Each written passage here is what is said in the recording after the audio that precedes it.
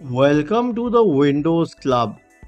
If you wish to fix the error, the application is not responding on your Windows computer, then either read through this article on the website or simply watch this video. I will guide you through the resolutions. The first and most simple resolution is to restart your computer. Right click on the start button, select shutdown and sign out and then click on restart. The next solution is to update Windows as well as the program.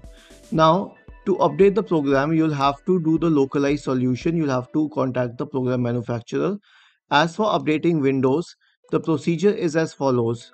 Right click on the start button and select settings. In the settings window, go to the Windows Update tab on the list on the left hand side. In the right pane, click on check for updates. The next solution is to run a reputed antivirus. The next solution will be to run a memory check on your computer. For this, press the Windows key and the R button together to open the run window. In the run window, type the command mdsched and hit enter. After this, click on restart now and check for problems. The next solution is to run the system maintenance troubleshooter. Go to the associated article. The link is in the original solution. Then Scroll down and copy the command line mentioned here. Press the Windows key and the R button together to open the run window. Paste it here and hit enter. This will invoke the system maintenance troubleshooter.